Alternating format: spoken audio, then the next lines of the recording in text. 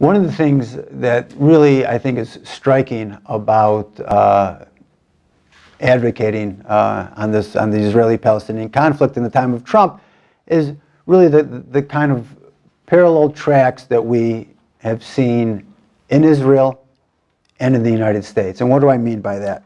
Well, in both countries, you have the political leaders who are under criminal investigation. In both countries, you, we are witnessing the erosion of democratic norms. And we are seeing the scapegoating of vulnerable populations in both countries and attempts to delegitimize political dissent.